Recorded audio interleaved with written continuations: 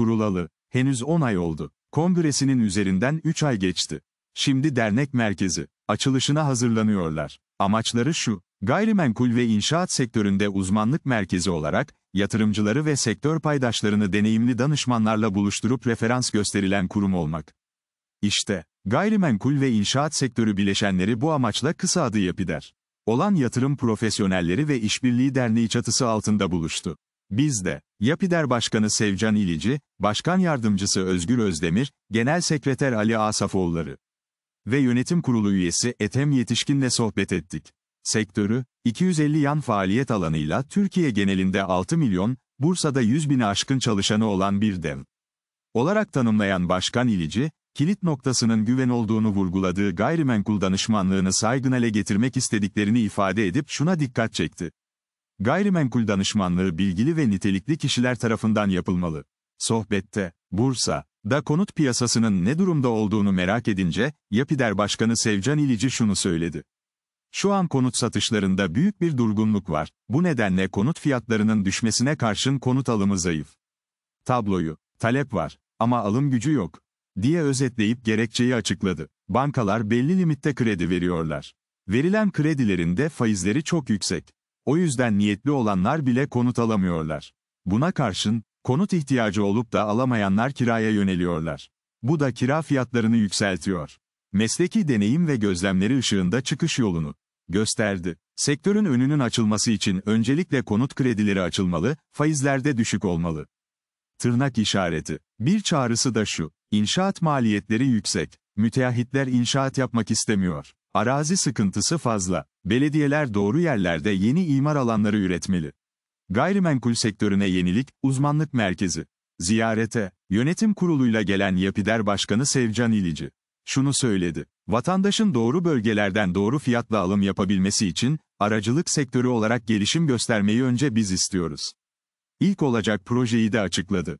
Uzmanlık merkezi kuruyoruz. Bu merkezde gayrimenkul danışmanları da, inşaatçılar da olacak. Doğru yatırım için profesyonel işbirliği ile sektör doğru bilgiye ulaşacak. Osman Gazi'de belediye vatandaş el ele verdi, önce temizlikten başladı. Erkan Aydın, ay, uzun yıllardır tanıyoruz, özelliklerini biliyoruz. Osman Gazi Belediye Başkanı seçildiği günden beri de dikkatle izliyoruz. Bir kere, en büyük özelliği, diyalog kurabilme yeteneğine sahip olması. O nedenle, hem beklentileri, hem karşısındakilerin ne söylediğini doğru anlıyor. Yanı sıra, sivil toplum örgütü yöneticiliğinden gelmiş, siyasette yetişmiş belediye başkanı olarak ortak akılla harekete inanıyor. Hatta, dile getirmekle kalmadı, mahallemizi birlikte temizliyoruz. Kampanyasıyla harekete bile geçti. Bu kapsamda, Osman Gazi'nin mahallelerinde yaşayanlar, Osman Gazi Belediyesi temizlik işleri ekipleriyle birlikte yaşadıkları çevreyi temizliyorlar. Temizlenmesine katkı koyanlar, temiz kalması ve korunması için de daha duyarlı oluyorlar. Zaten, birlikte hareketin, gücü de buradan geliyor. Kestel birlikte spor yapıyor. Bu dönem, gençlik kolları, NEDAN yetişen tek belediye başkanı var, Kestel Belediye Başkanı Ferhat Erol. Bir yandan ilçesini geliştirecek adımlar atarken, sağlıklı ve mutlu yaşam için de harekete geçti. Nitekim, haydi Kestel, sabah sporunda buluşalım. Çağrısıyla pazartesi, çarşamba, cuma günleri Kestel Stadı, Aile Parkı, Toki Park alanı Uğur Mumcu Parkı'nda başlayan birlikte spor etkinliği büyük ilgi gördü. Manyas Gölü kirlendi, Karacabey'de domates üreticisi perişan oldu. Haberi, Karacabey'de yayınlanan Yörem gazetesinde okuduk. Sorun büyük. Üstelik, yalnızca Karacabey çiftçisi için değil, kirletilen çevre nedeniyle geniş bir alanı çok yakından ilgilendiriyor.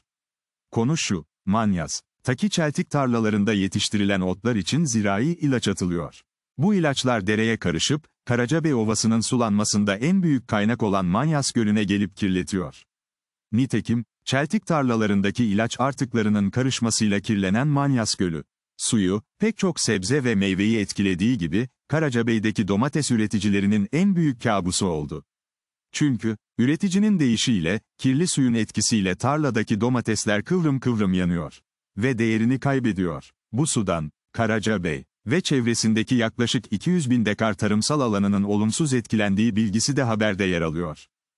Bursa'da ilk kez kimya, ambalaj, dönüşüm fuarı, pilot sanayi ile Organize Sanayi Bölgeleri Kuruluşu'na öncülük eden Bursa, çok farklı bir alanda ilk kez fuar düzenlemeye hazırlanıyor.